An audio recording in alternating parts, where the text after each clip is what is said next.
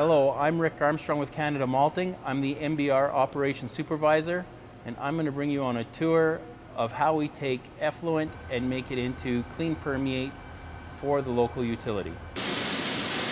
Effluent is brought from the malting process into the EQ tank. From the EQ tank, it is pumped over to the drum screens. At the drum screens, we remove any solids larger than half a mil.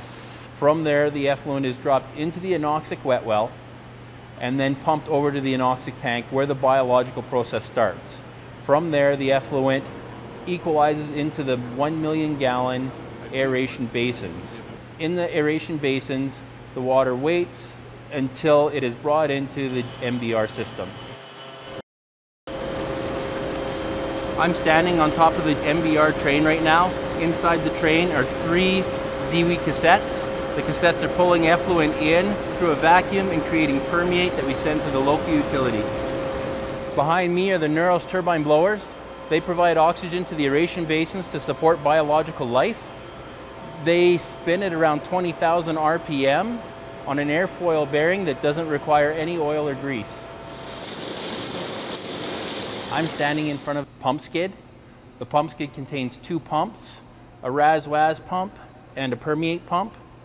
The RAS, the return activated sludge, is effluent that's brought from the aeration basins through the trains and back to the anoxic tank. The WAS, or waste activated sludge, is brought from the aeration basins through the train and back to the sludge tank that is dewatered at the belt press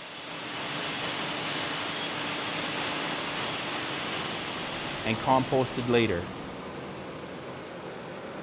The permeate pump brings water from the aeration basins through the ZeeWeed cassettes and creates permeate, which we send to a local utility. It also works double duty. It will run in reverse and bring permeate from the back pulse tank through the ZeeWeed cassettes, which back pulses them, cleans them, and prevents fouling.